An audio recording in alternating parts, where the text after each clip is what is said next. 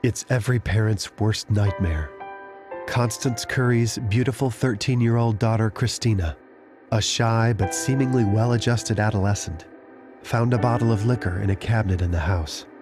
From that fateful moment, with her mother helplessly standing by, began a spiraling descent into the depravity of alcohol and drug addiction, prostitution, burglary, and violent rape, until her near death on the floor of a homeless shelter, completely alone at the age of 21.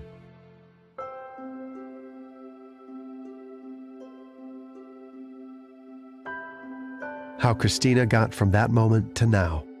As a successful author and executive director of Full Circle Intervention, is the subject of the critically praised book, The Lost Years, co written with her mother.